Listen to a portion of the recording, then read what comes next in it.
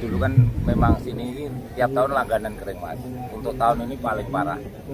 Ya inisiatif saya, saya ada dana sedikit. Saya, nah itu kira-kira akhir Agustus kita ketemu sumber bagus, bagus itu. Terus kita kehabisan dana, kita gandeng beberapa driver online seluruh raya untuk donasi. Kita ini closingnya sama Gojek.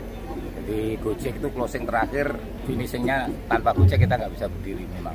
Bayangin aja di Tangen, saya waktu kunjungan ke situ ada yang meninggal dunia. Hmm. Otomatis kan kalau kita lewati kita berhenti.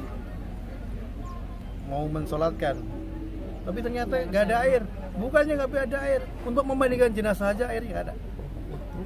Terus gimana pak? Dua tiga tahun yang lalu. Artinya itu kan itu kan peristiwa yang tragis. Tragis dan tidak boleh terjadi. Tahun ini ada nggak sih pak kejadian sampai seperti itu lagi? Belum ada ya.